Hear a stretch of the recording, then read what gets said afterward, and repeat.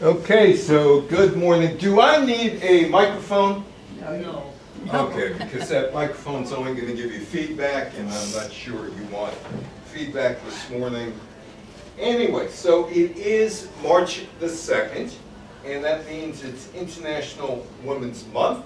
And uh, next week, uh, Friday, will be International Women's Day that started on March the 8th, 1978 in Santa Rosa, California, where a bunch of women got together, saluted to womanhood. And the United Nations picked up on it, and it eventually became International Women's Day, and it's International Women's Month. So I'm going to be talking about 1922, which was a pretty big year for women gaining some equality with men. Because of this, the uh, Women's World Games or the Women's Only Olympics. And of course you had the flappers in 1922. And you had prohibition. Anybody uh, with a mother or an aunt who was a flapper? No? Anybody with relatives who made bathtub gin? Maybe? Maybe? Okay. Also, the Ku Klux Klan is going strong. Uh, the Lincoln Memorial is completed in Washington, D.C. in 1922. Uh, technology is evolving. Look at that. That's a radio set. The whole family is sitting around the radio. And there would be the first big star on radio in 1922. Warren G. Harding has a problem with his cronies or his cabinet members as uh, they're stealing oil from uh, the Teapot Dome area in Wyoming. Uh, Fatty Arbuckle. Anybody here know who Fatty Arbuckle was? Well, he was a great silent film star comedian who um, was accused of murdering Virginia Rappe and raping her and faced three trials. Uh, so Hollywood needed a cleansing after that. Uh, Hitler in 1922. Uh, and Mussolini, he rises to power in 1922. And back in the USSR, Lenin is getting sick and Stalin is becoming the guy in the USSR. Oh, women's rights in the 1800s. Uh, let me read some of these rights to you and you tell me what you think. Uh, women's rights denied. In the 1880s, American women had fewer rights than a male in an insane asylum. Uh, women could not vote, serve on the jury. They're going to try to get me on the jury next week until I tell them about my background in journalism and meeting, you know, being having murderers paraded in front of me and meeting some of the worst lawyers, liars, lawyers, liars you could ever meet, you know, in uh, as a defendant client. Testify in court, hold public office. You couldn't attend college as a woman, unless you had money. Uh, practice law. If a woman were married, it was illegal for her to sign a contract, own or inherit property, although Martha Washington had the property for George. Uh, keep or invest her own earnings, have automatic rights to children. Women were expected to center their lives around family and home, obey their husbands in all matters. Nobody is responding other than laughter to that. Uh, not voice strong opinions in public. Well, that wouldn't be my mother-in-law. Uh, behave in a refined and polite manner. Uh, women want rights. Now in 1920, most, but not all women in the United States got the right to vote. If you were Native American, you didn't get the right. If you were African American woman, they made it very, very hard for you to vote. Now, New Zealand gave women the right to vote in 1893. That was the first nation or territory to formally allow women to vote in natural and rather national elections. At least 19 other countries also did prior to the United States and the passage of the uh, 19th Amendment allowing women to vote in 1920.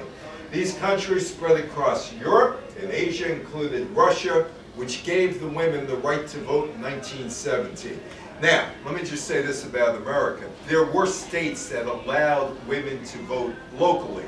Uh, places like Idaho and Utah and Colorado back in the uh, 1890s along with Wyoming. Um, but uh, it took a while for women. And in fact, New York State in 1917, after Wyoming, was, women were allowed to vote. Women struggled to gain equal rights in the sports arena was a battlefield. Um, have you ever heard of this one? It wasn't ladylike or it isn't ladylike to play sports. Now, uh, go back to high school. Um, women, go back to high school. Were you allowed to play full court basketball in phys ed? And the answer was no. The reason why? It was too tiring for a woman or a teenage woman to run up and down the courts. Which leads me to this uh, next question that you might be able to answer for me. Um, if, if women are the weaker sex, how come they outlive men? Because they want to, according to Myron Cohen. Anyway, um, so women didn't participate in sports, but in suburban New York City in Westchester County, the wives of the Gilded Age millionaires wanted to play golf. And that kind of turns things around, at least in Westchester. Uh, this is a club on Jackson Avenue that still exists on the Scarsdale-Yonkers uh, border. And it's one of the oldest private clubs, St. Andrews, in the United States. Um, and, you, and that picture was all men. Uh, in 1895, John Reid, who was one of the guys who brought golf over from uh, Scotland in 1888, his wife Elizabeth and several other women leased land on the uh, in Yonkers on North Broadway and established the Saegkill Country Club after St. Andrews. And people who were part of St. Andrews included Andrew Carnegie and that ilk, uh, slammed its doors on them. Saegkill moved to another site on the Hudson River in 1896, and it had about 100 members, mostly women. And there is the Saegkill Golf Course in Yonkers.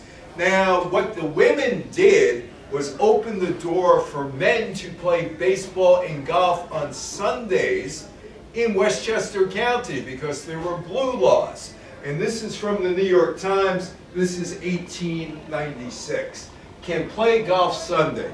Jury at Yonkers finds player not guilty of breaking the law. The jurors congratulated on their decision. Attorney and judge have a warm tilt. Well, they were yelling at each other. Special to the New York Times, Yonkers, June 7th. In the courtroom, crowded with prominent residents of this place, the question as to the right of man, not woman, man, to play golf on Sunday in Yonkers was decided here by the discharge of Benjamin Adams. Mr. Adams was arrested last Sunday for playing the game on the links of the Saegkill Golf Club. He was tried before Judge Kellogg in a jury of six and was discharged, but only after a hard-fought legal battle during which there was an angry exchange of words by Judge Kellogg and Joseph F. Daly, one of the attorneys of the defendant, the decision was received joyfully by those who play baseball and members of the Saegkill Golf Club, of which the defendant is a member. So, men got to play because women stood up and said, we're keeping this golf course open on Sunday, forget your blue laws. Uh, women did make a major advance in golf. 1894, the Amateur Golf Association was formed, established the first women's tournament. First women's amateur took place in 1895 in Jericho. Not very far from here, right? Jericho. Women were being accepted, at least in golf, but the Olympics, which was revived in 1896, no women. We didn't want any women in the Olympics. In 1896, at the first modern Olympic Games held in Athens, Greece, there were no women participants. You can't see that picture well, but I'm going to tell you who's in this picture. It is a woman, and she is dressed from neck to toe, complete with a hat. She's going to play tennis in that outfit. That's what she's going to play tennis in. And it was acceptable for the men in the Olympics. And there's a reason why, which I'll get into in a couple of minutes, why she is dressed from head to toe.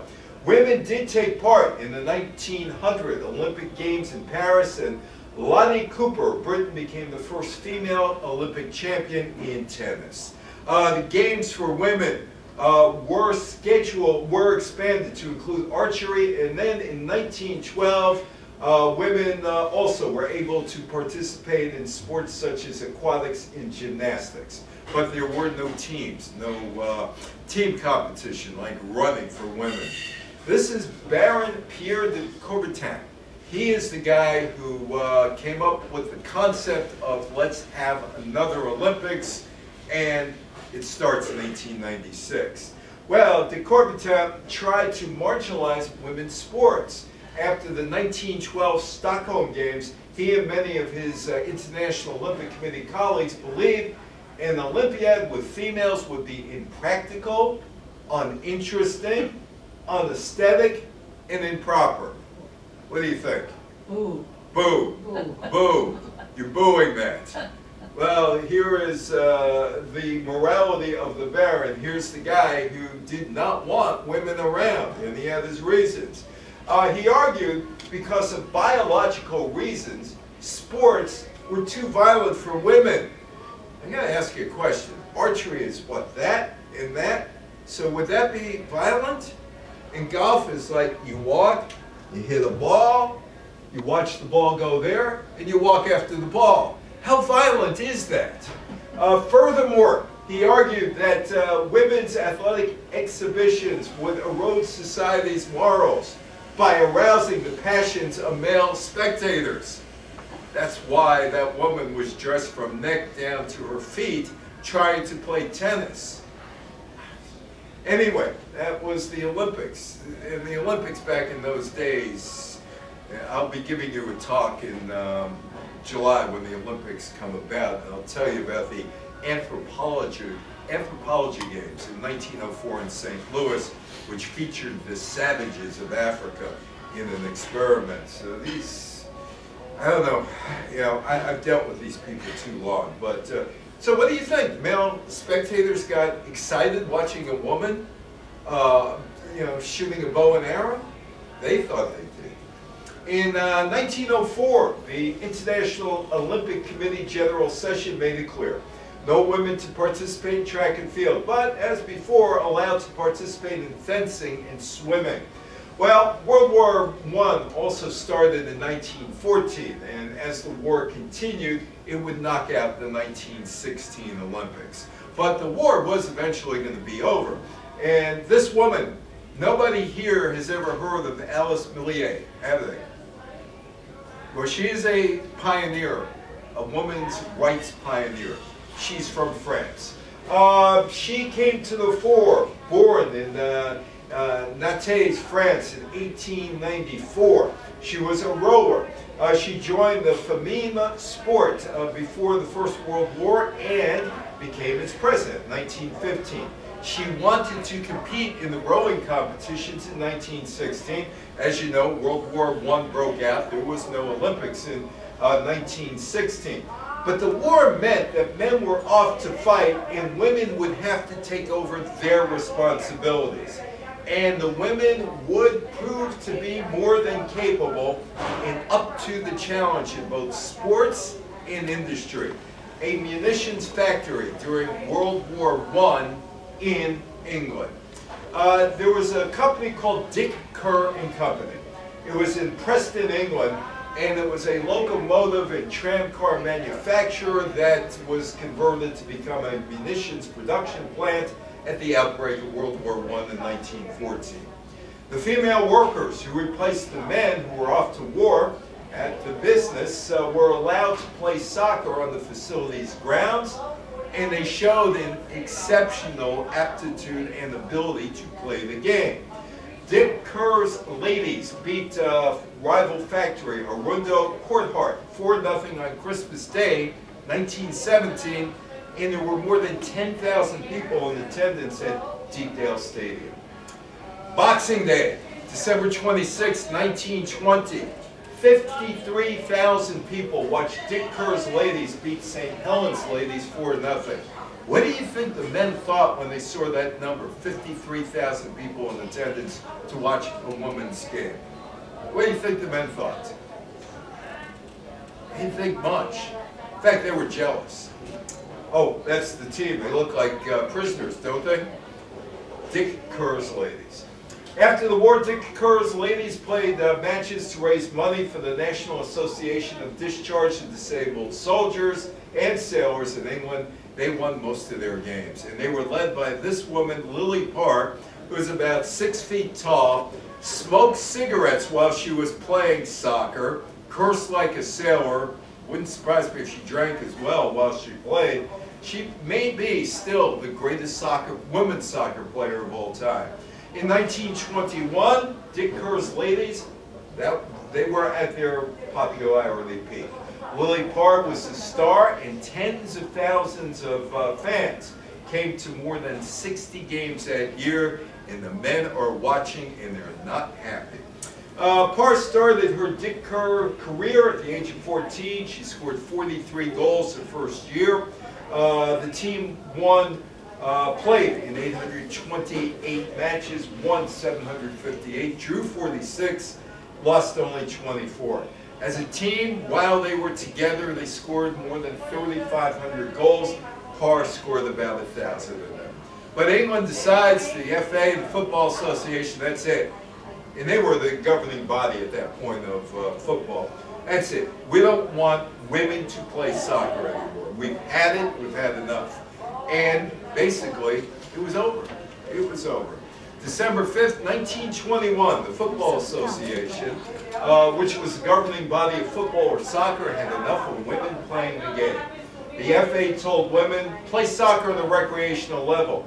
The FA would not supply referees to officiate women's matches and eventually took the fields away. Um, they felt it wasn't ladylike. Look at them. That's not ladylike. What is ladylike, by the way? Anybody can tell me what ladylike is? Because I never met anybody who could tell me what ladylike was. Maybe back in the 1800s, a woman who kowtows to her husband. The FA concluded that women should not be playing football or soccer because it was quite unsuitable for females and ought not to be encouraged. The uh, Dick Kerr ladies uh, toured North America uh, in 1922 following the English ban, and that was supposed to be the end of it. They were supposed to go to Canada, but guess what? Canada was an English colony and still under the thumb, even though they were a separate country allegedly, starting in 1867. But they were still under the English thumb. So they arrived in Canada and told, you're not welcome here. Um, so they ended up touring uh, the United States for nine games, and that was the end of it. The men wanted to put down soccer it in 1922. Oh, the FA doctors uh, who said that soccer posed a uh, serious physical uh, risk for women uh, because the men running uh, the FA wanted them to say so, and they did, and they were barred from playing at the highest level. So, getting back to Alice Milliat, who will not be honored this month, although she should be, she probably will be honored in France.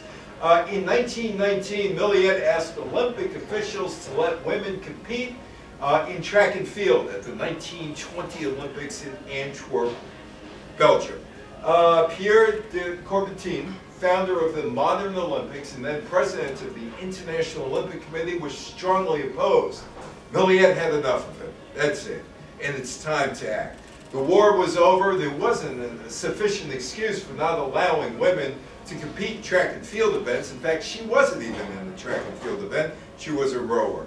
Uh, here is Antwerp, the Belgian Olympics, the Summer Olympics.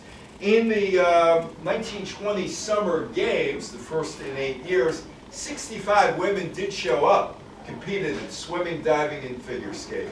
Milliat, not allowed to uh, compete in the 1920 Olympics. There was no competition for her. She decided to do something about it and show those men, women were going to get, there or going to do what they needed to do to get recognition, and there she is. Uh, she was the founder and president of the uh, Feminine Sports uh, Federation International that started operations in Paris, October 1921. Earlier that year, she organized the 1921 Women's Olympiad, the first ever international uh, sports event. It was for five days between, uh, Uh, was a five-day uh, multi-sport uh, event held between March 24th and 30th uh, in Monte Carlo. And it was in response to the International Olympic Committee's decision to kick all women out of the 1924 Olympics. The athletes competed in 10 events, running 60 meters, 250 meters, 800 meters, 4 by 75 meters relay, 4 by 175 meters relay, hurdling 65 meters, high jump, long jump, standing long jump, exhibition only, javelin and shot put. Uh, there were exhibition events in basketball, gymnastics, pushball, and ryth uh, rhythmic gymnastics. Five nations competed, France, Italy, Norway, Switzerland, and the United Kingdom. It was a great success. And because it was a great success, let's have our own Olympics. And that is what happened. The 1922 Olympics take place. It would be the first of four women-only Olympics. 1922, 1926, 1930, 1934. Uh, it was the first regular international women's World Games, first track and field competitions for women. Tournament was held on one day, February 20th in Paris, attended by 77 athletes, Czechoslovakia, France, Great Britain, Switzerland, and the United States. And because the United States was there, so was the New York Times.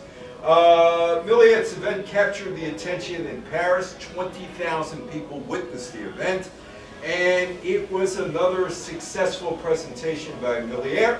And it got positive reviews from the New York Times, which was a big deal back then.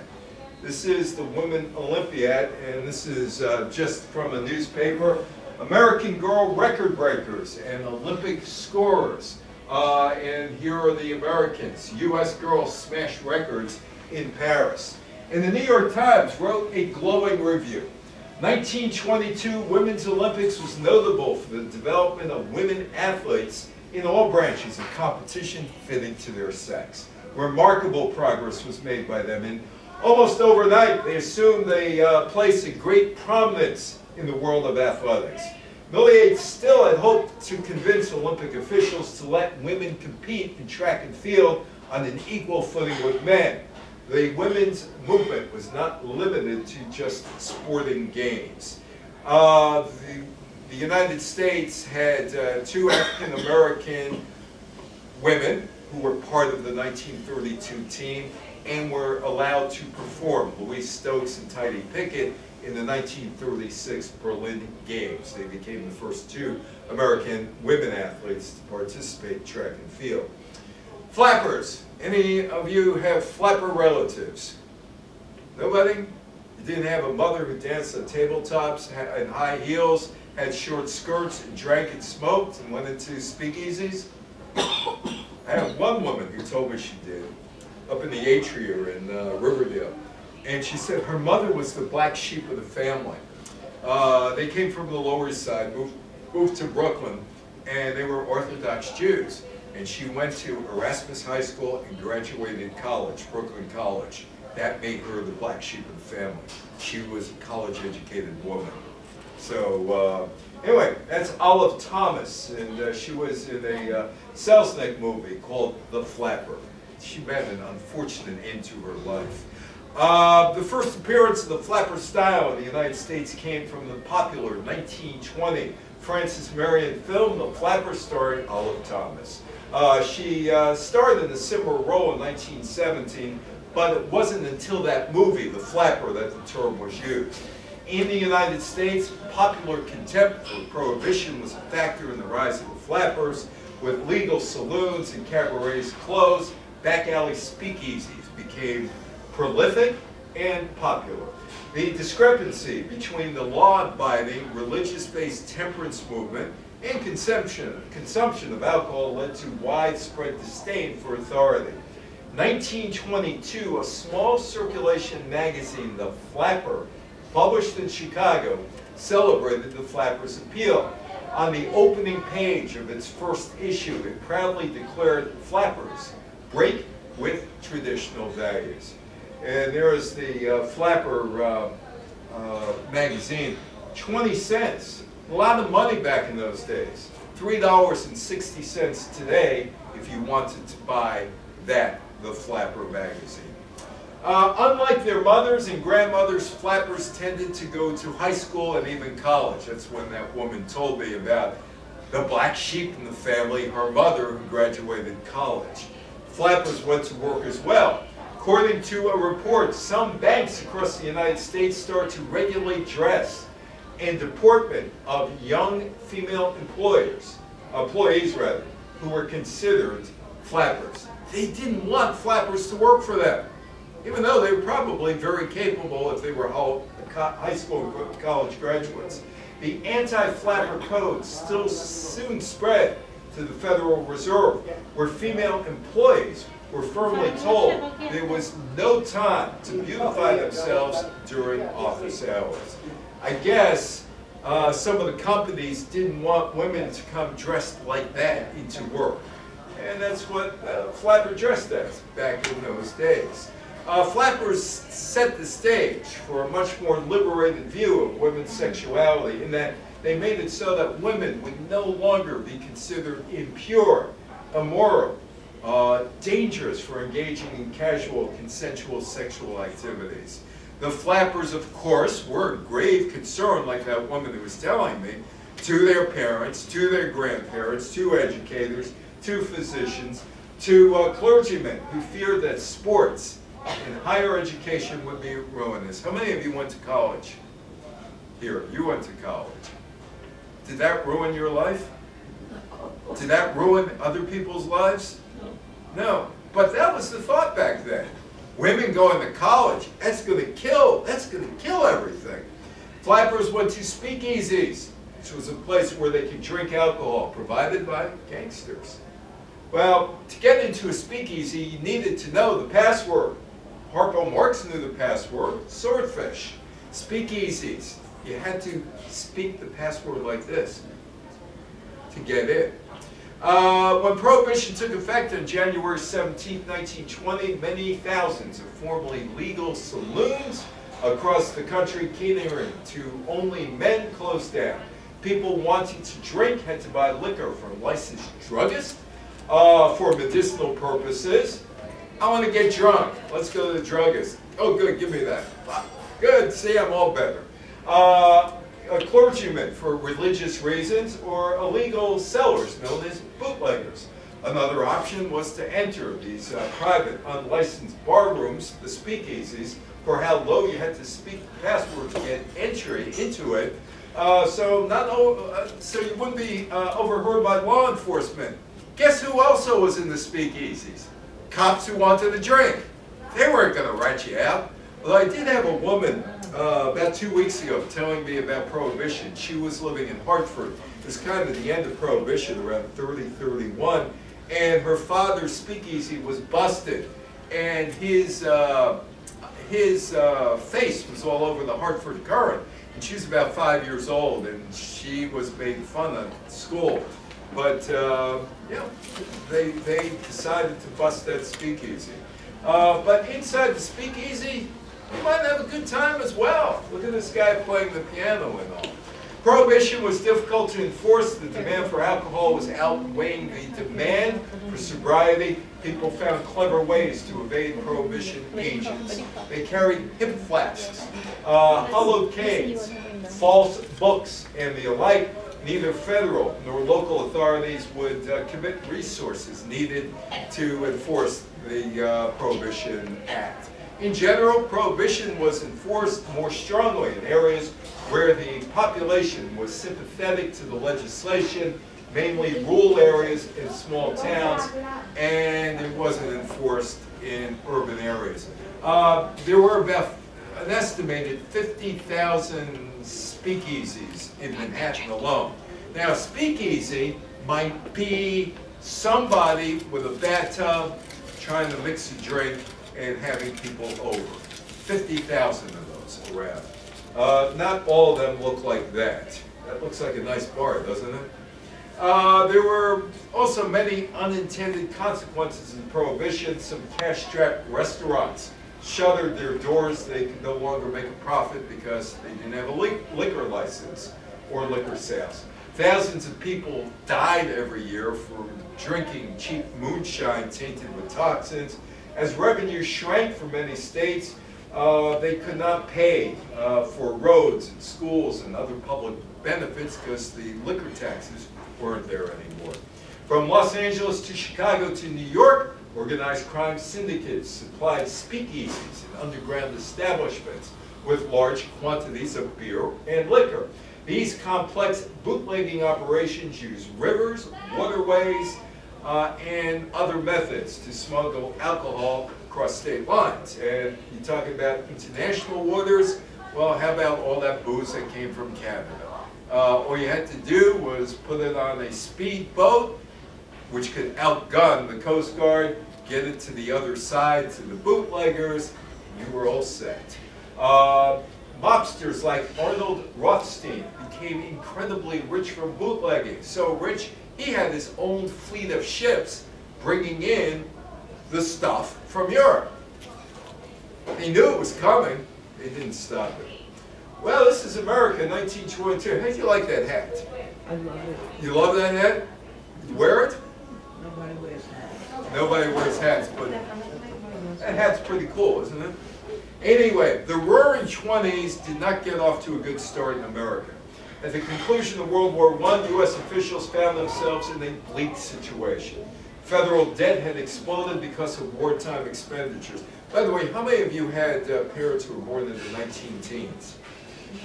19 teens, 1900s? Earlier. Then they experienced at least two depressions in the 1920s, not just one, two. Uh, the federal debt exploded because of wartime expenditures. The annual consumer price inflation had jumped above 20% by the end of the war. Oh, the Spanish flu pandemic in the United States began in the spring 1918, returned in waves into 1920, killing 675,000 Americans, including two of my great uncles who died. Uh, and the family always said, no, they were poisoned by lovers. So were the other 675,000. Family tale. Because a large fraction of the deaths were among working age adults, which they were at that time, uh, the resulting economic dislocation was especially severe. Unemployment rate, 11.7% 1921.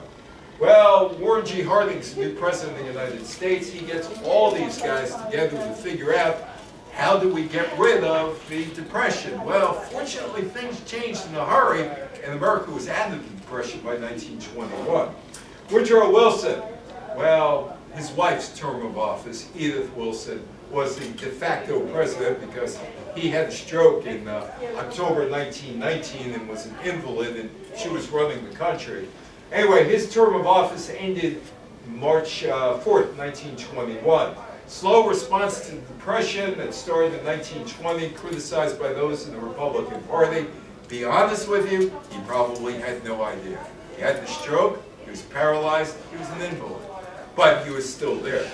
Harding was sworn in as president March 4th, 1921, uh, convened a president's conference on unemployment at the instigation uh, of the Commerce Secretary, Herbert Hoover, as a result of uh, high unemployment during the uh, recession. Um, about 300 members of industry, banking, and labor were called together in September 1921 to discuss the problem of unemployment. Hoover organized uh, the Economic Conference and the Committee on Unemployment. The committee established a branch in every state having substantial unemployment along with sub-branches in local communities and mayor's emergency committees in 31 cities. The committee uh, contributed relief to the unemployed, also organized uh, collaboration between local and federal governments. Harding in 1921 signed the emergency tariff of 1921. Uh, Ford, the McCumber tariff, and the Secretary of Treasury, Andrew Mellon, successfully pushed for lower income tax rates to help the economy uh, recover. Guess who he cut the uh, rates on? the very rich. They paid less money in taxes. Officially, the recession or depression lasted from January 1920 to July 1921, 18 months. But that didn't mean Americans were rolling in money in 1922. The economic downturn reversed itself, more jobs opened, but the farmers were still suffering. And the farmers had been suffering since the end of World War I because they overproduced, there was too much product, and they couldn't get the prices they need, needed. There was one other problem in America. Racism and anti-immigrant sentiments were raging. This is Los Angeles, and that's the Ku Klux Klan. The New York World, long time out of uh, circulation newspaper, wins a Pulitzer Prize uh, for its uh, public service in exposing the Ku Klux Klan operations. Um, the immigration or immigration and prohibition was causing cultural conflict and modernization helped resuscitate the Ku Klux Klan. Whereas the original KKK was violent, racist, uh, it came out of the Civil War. The modern Klan was driven by somewhat different circumstances. Uh, the KKK was anti-immigration, anti-union, anti-Catholics, anti-Jews, strongly in favor of prohibition, which was put in place in 1919 with the ratification of the 18th Amendment. Many white, lower-class Protestant Americans in the North and Midwest were fearful that immigrants were changing traditional American culture and they responded with anti-Catholicism and anti-Semitism. Lincoln Memorial is dedicated, and this is rather interesting because wasn't Lincoln the guy who freed the slaves, right? He's the guy who freed the slaves. Well, you know, it's 57 years or so after he's killed, and uh, William Howard Taft signed the bill in 1911 when he was President of the United States in February to create a memorial to Abraham Lincoln. When the Lincoln Memorial was dedicated on May 30th, now Chief Justice Taft officiated the ceremony. Oh, this is Lincoln who freed the slaves, right? Seating was segregated. The ceremony's only black speaker was forced to drastically revise his speech to avoid spreading propaganda. But 100 years later, you have critical race theory and let's ban books. Which changed? Rod, uh, Robert Todd Lincoln, the president's only surviving son, attended the ceremony, which featured speeches by Taft, Harding, and Robert Russell Moton, principal of the Tuskegee Institute, a historically black school in Alabama, and he could not speak his mind. Harding uh, won his election in 1920 by preaching a slogan, return to normalcy. But what was normalcy? Uh, the American economy was slightly uh, rebounding, but uh, Harding was no friend to farmers and didn't want to help them out. Uh, Harding signed off on limiting immigration in 1921. Guess who he wanted to keep out? Or that bill. Keep out the Jews, keep out the Catholics from Eastern Europe. Um, and the tax cuts to the rich, thanks to the Secretary of State, Andrew Mellon. Harding supported Congressman Leonidas Dryer's, uh, Dyer's rather, federal anti-lynching bill, which failed to pass. It took about a century for that anti-lynching bill to pass. Uh, return to normalcy. Well, he's, he's listening to radio. He's watching it. He's watching radio. That's the speaker. Harding embraced technology. The use of electricity became increasingly common. Mass production of motorized vehicles stimulated other industries such as highway construction, rubber, steel, and buildings as hotels were erected to accommodate tourists venturing on the roads. Uh, it would be Harding that would get Route 66 rolling. Uh, economy boost, uh, this economic boost helped the nation out of the recession. To improve and expand the nation's highways, uh, Harding signed the Federal Highway Act of 1921. He wanted to promote aviation, convening a national conference on commercial aviation, discussions focused on safety matters, inspection of airplanes. Airplanes before this weren't expe- inspected. Oh yeah, anybody could uh, basically go in and fly a plane. You didn't need a license. On February 8th, Harding had the first radio installed in the White House. This received national press attention. Uh, there's Harding on radio. There he is. He's on radio.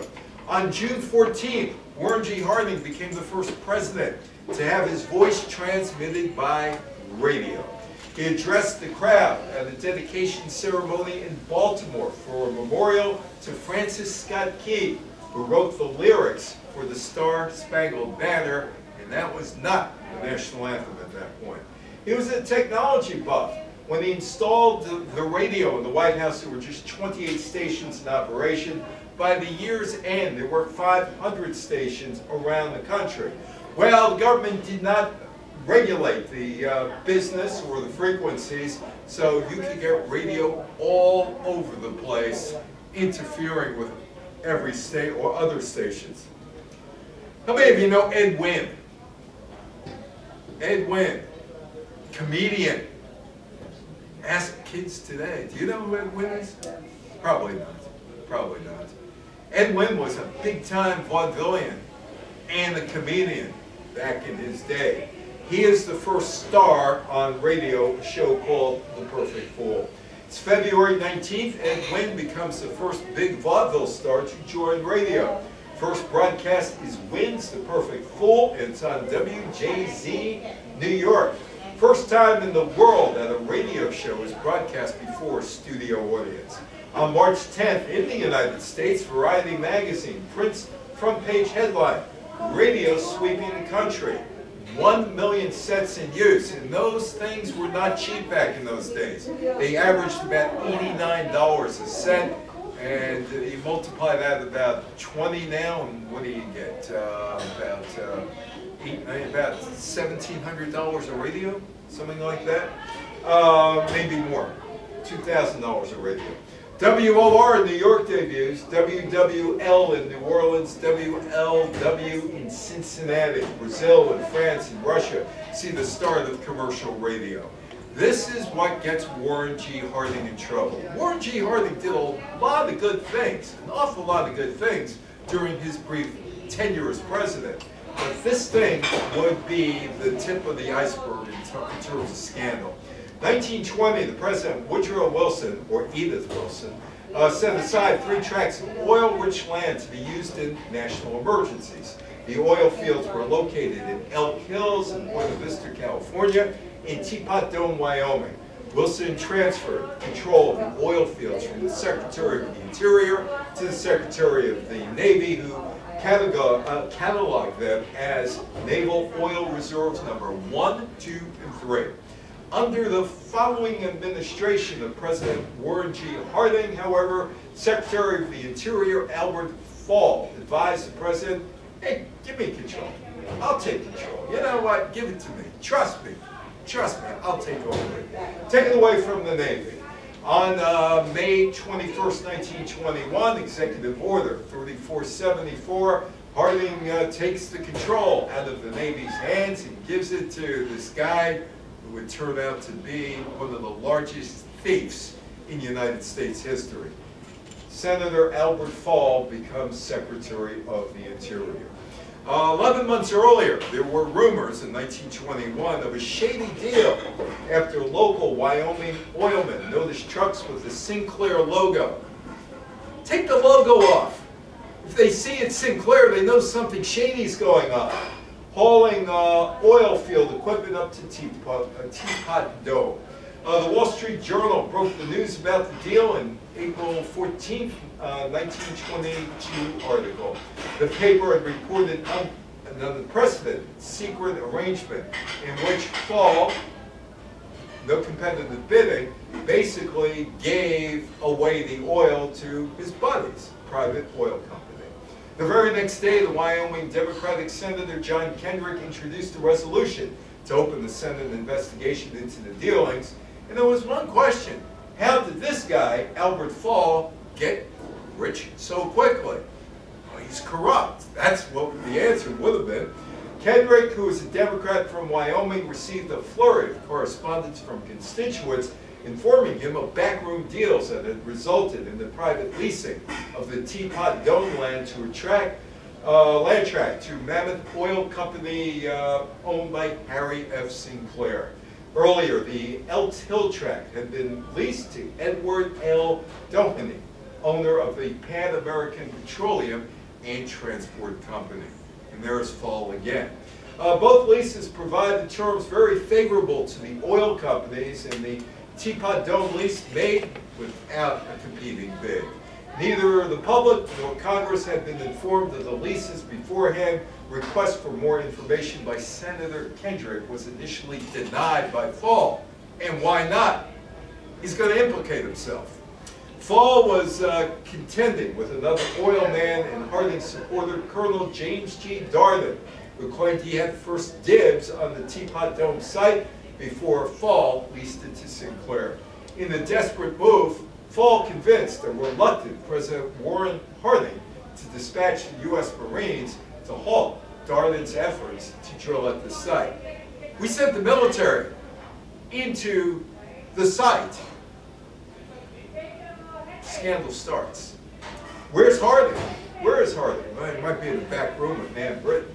Uh, when the publishers of the Denver Post got wind of the confrontation, they published the incident and used threats of additional withering editorials about Teapot Dome to blackmail Sinclair into paying $1 million, $18,250,000 today to them and another oilman who felt cheated by the Teapot lease.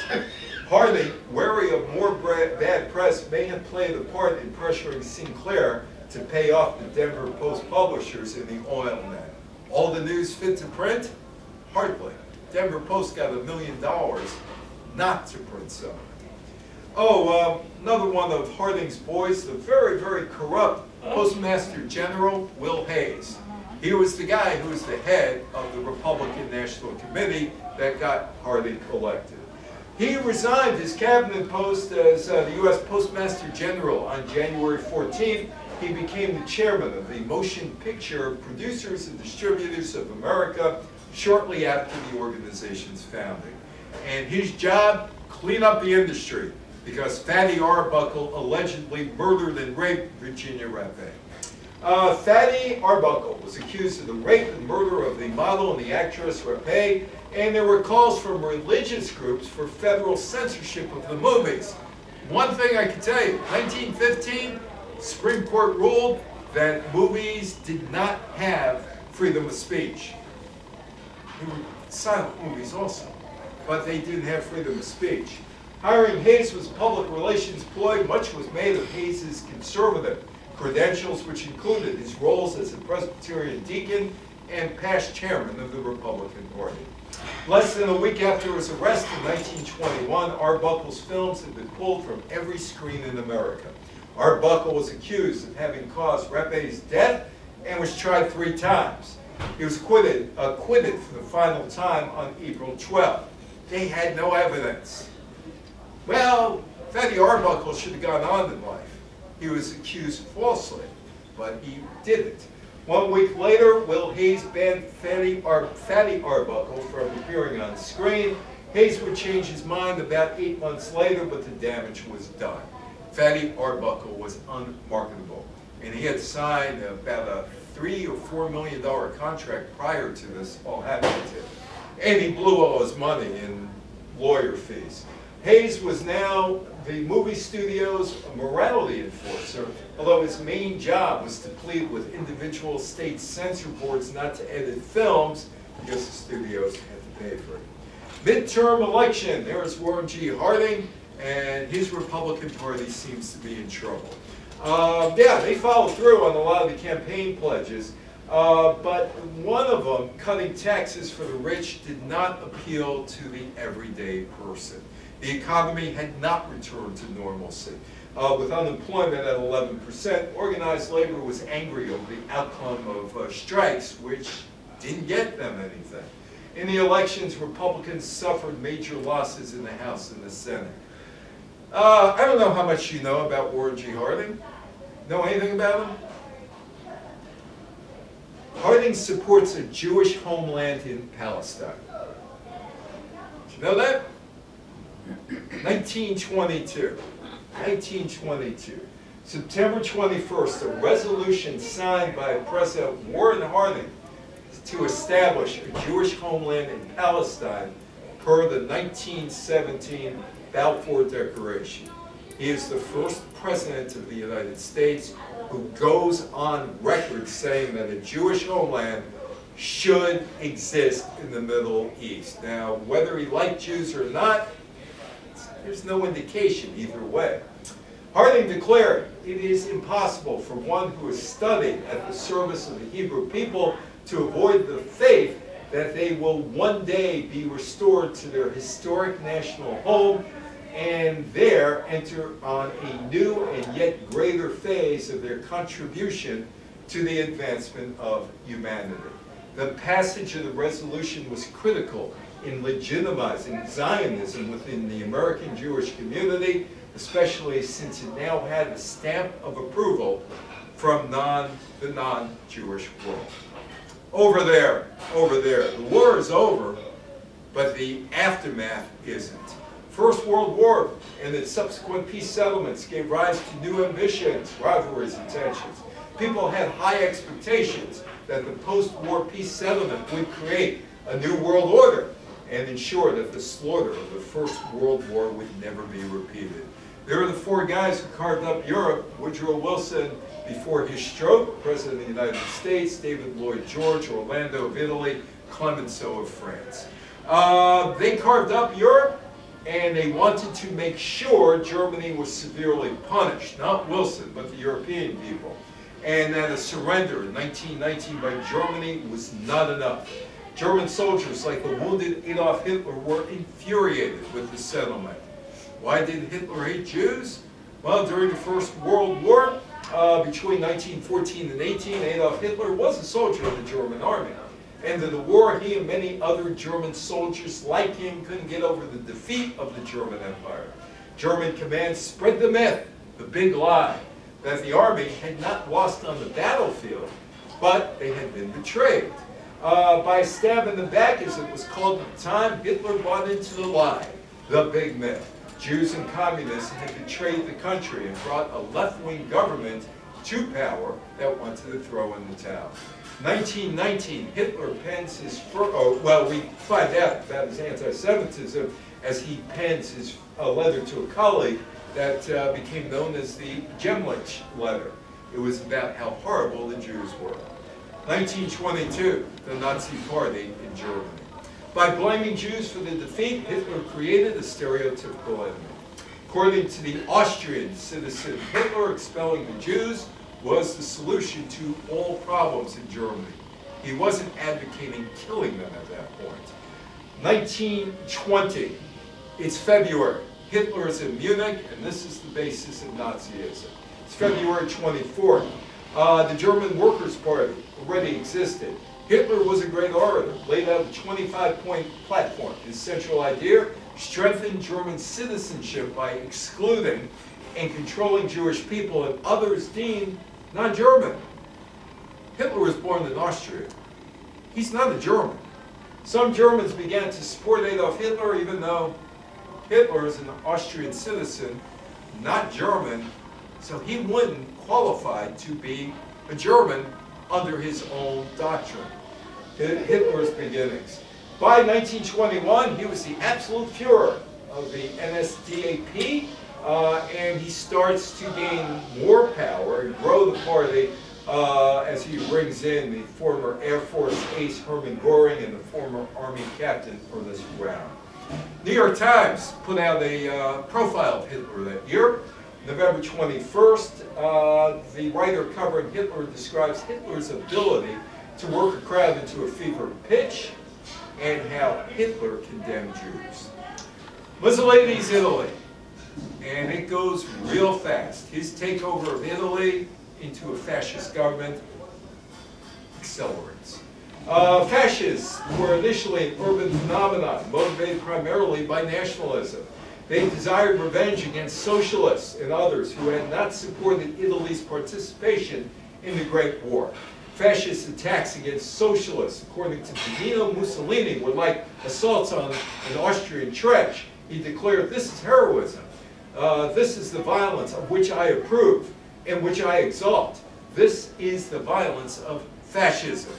And uh, Mussolini's Italy got a bunch of guys behind them.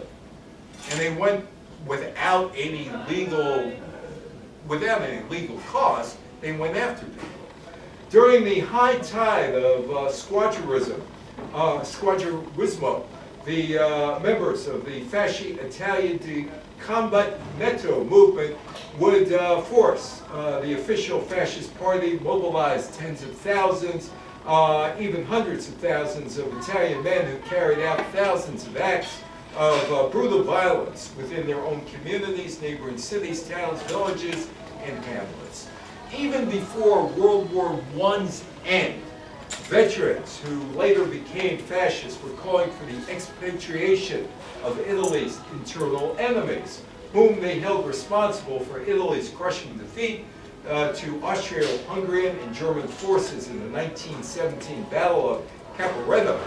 Uh, Marxists and socialists. Marxists and socialists.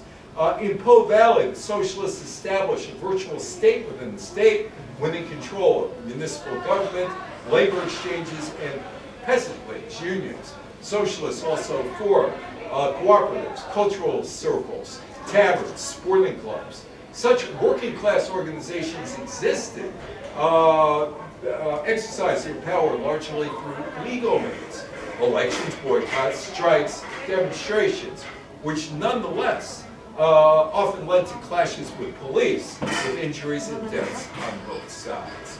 Political culture and social order have been radically altered, with rough peasants and workers occupying the halls of power and red flags hanging from town halls.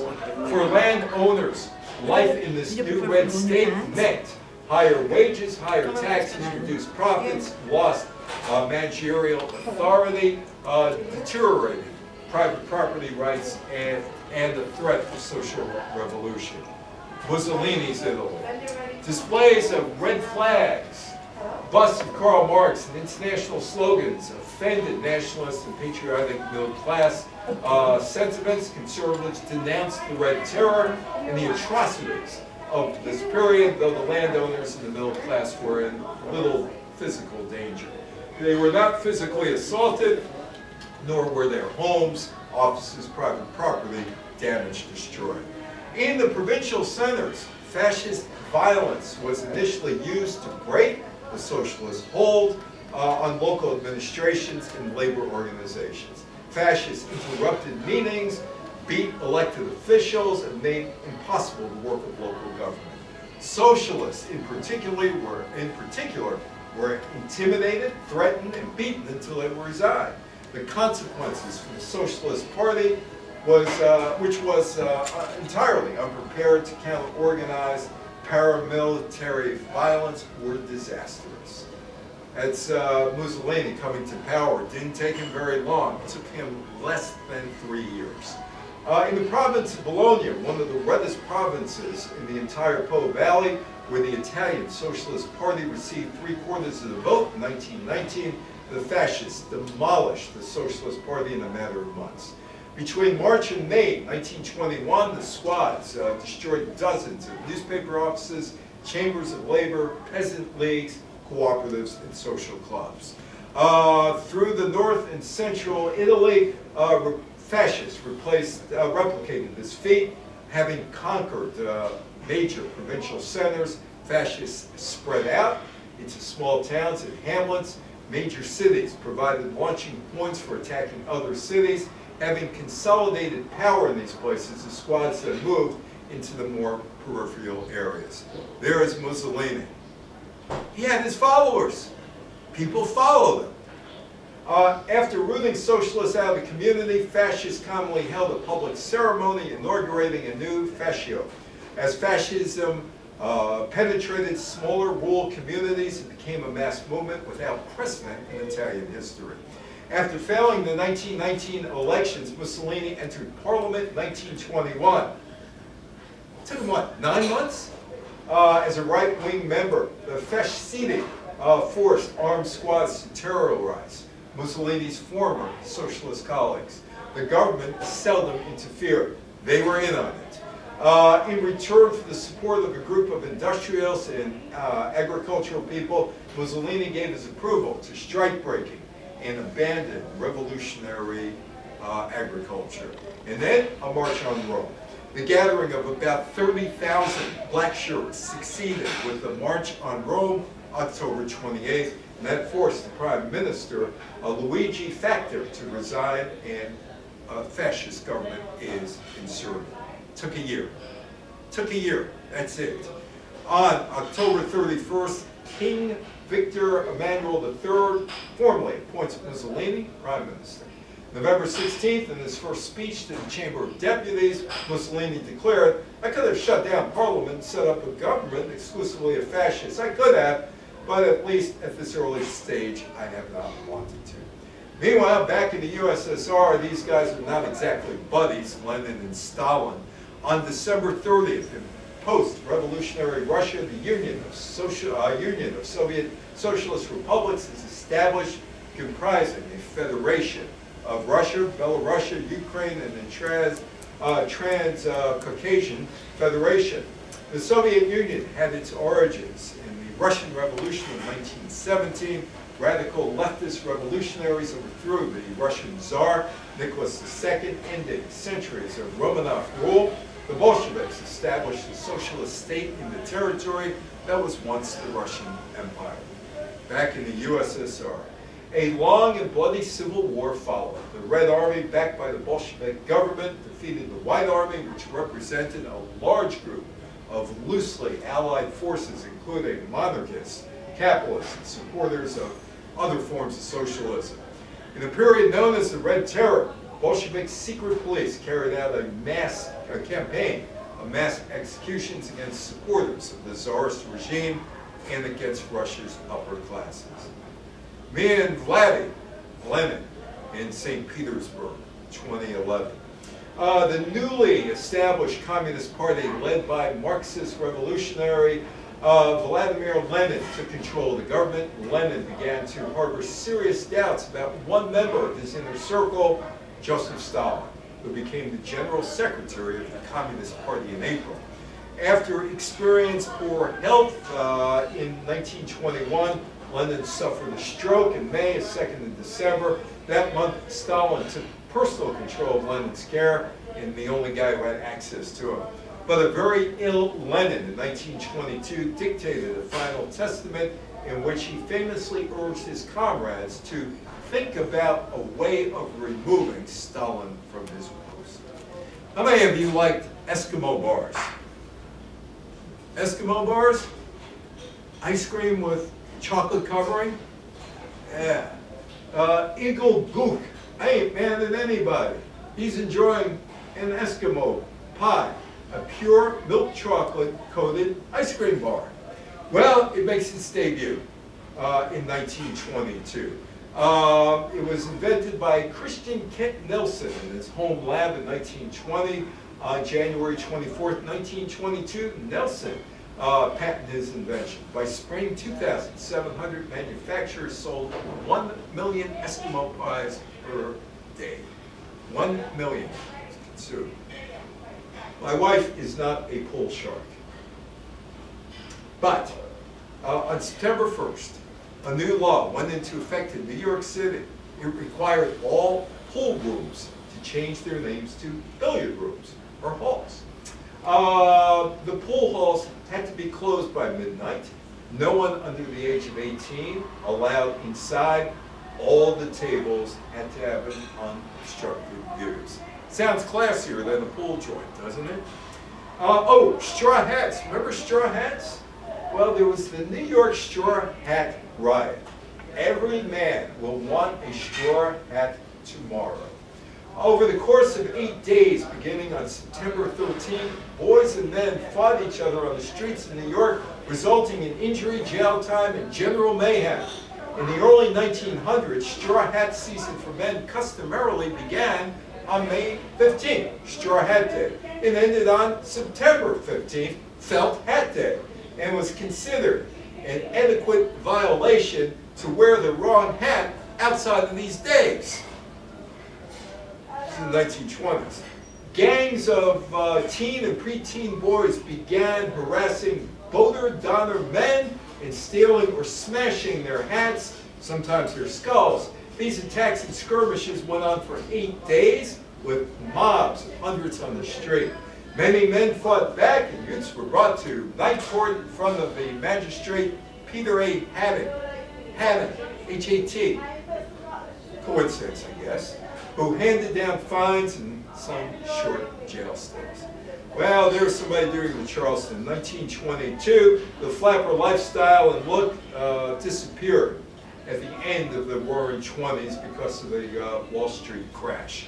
Uh, in 1963, Betty Friedan released the book The Feminine Mystique, which referenced the flapper, flappers. That would be the start of the 1960s women's rights movement. Prohibition ended in 1933. Ku Klux Klan continued to grow and then die in 1925. Uh, they had a march on Washington in 1925, but one of its most powerful leaders, David C. Stephenson, he was the grand, powerful Cyclops of Indiana. Uh, his power went beyond Indiana, uh, was accused of uh, abducting and raping and murdering a young woman. It was his trial, and he was convicted. His disgrace was a major blow to the KKK and basically kind of put it back in the box. Uh, the civil rights era would open it up again in the 1950s and 60s. No Nazis in Germany. Uh, Adolf Hitler and the Nazi Party uh, rose to power by 1932. Hitler and Mussolini were allies. Germany annexed Austria and Czechoslovakia in 1938. Czechoslovakia invaded Poland September 1st, 1939, started World War II. Japan bombed Pearl Harbor December 7, 1941. The war ended in 1945. The Nazi Party outlawed in Germany. Uh, the Teapot Dome scandal, Congress uh, directed Harding to cancel the lease. The uh, Supreme Court declared the lease as fraudulent, ruled illegal Harding's transfer of authority to Albert Fall. Uh, he was convicted of accepting a bribe in the Elk Hills negotiations in prison. Edward Doheny uh, and uh, Harry Sinclair acquitted in charges of bribery and, and, criminal conspiracy. Sinclair would go to jail for six and a half months contempt of the U.S. Senate. Um, although the Secretary of the Navy, uh, Edward Denby, uh, had signed the leases, he was cleared of all charges. Uh, and there was Harding. Harding is considered one of America's worst presidents because of the Teapot Dome uh, scandal, bribery scandal, and Fall would go to uh, prison eventually. Uh, Harding was an accused adulterer, subject of a 1927 best-selling memoir by Nan Britton, claimed to be his mistress and the mother of his illegitimate daughter. 2015, DNA testing revealed that, yeah, Harding did have a daughter with Nan Britton. Harding did some good things. Uh, the country came out of the recession in good shape. He advocated for labor reform the foundations of the eight-hour work week. Through multiple treaties, the United States uh, succeeded, slowing down a naval's race. Uh, Will Hays, well, uh, Will Hays uh, does take over, and uh, by 1930, he would impose a morals clause into performance contracts. Um, and uh, he would also have a do's and don'ts in the movies. Straw hats. Straw hats would actually fade from fashion. President Calvin Coolidge and uh, Walter Johnson, uh, Washington Senator's picture. Um, the ownership of the Eskimo bar brand has changed many times. Today it's owned by Froneri, known as Edy's Pie. On October 2nd, 2020, Dreyer's Grand Ice Cream announced its Eskimo Pie ice cream bars would be rebranded, acknowledging in a statement that the ice cream name was derogatory. That came, uh, the change came in early 2021. And finally, billiards. Finally. Still in New York, it's called Billiards or Billiards Hall. it is no longer, or it still is not called a pool hall. There are a few remaining spots to shoot pool in New York City, and uh, they're called billiard parlors. Technically, there are no pool halls in New York City. Any questions, any comments about this? Anybody have any